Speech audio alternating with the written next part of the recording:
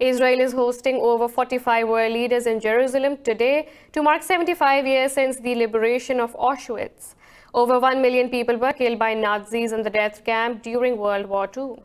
President of Russia and France and Britain's Prince Charles will address the sombre event at the Yad Vashem Holocaust Memorial Center. U.S. Vice President Mike Pence and Speaker of the House Nancy Pelosi are among the attendees of Israel's biggest international gathering. Guarded by 10,000 policemen, the leaders will warn against the resurgence of anti-Semitism in their speeches. Muslim countries and leaders are not attending the event as Israel is hosting the event in disputed capital Jerusalem.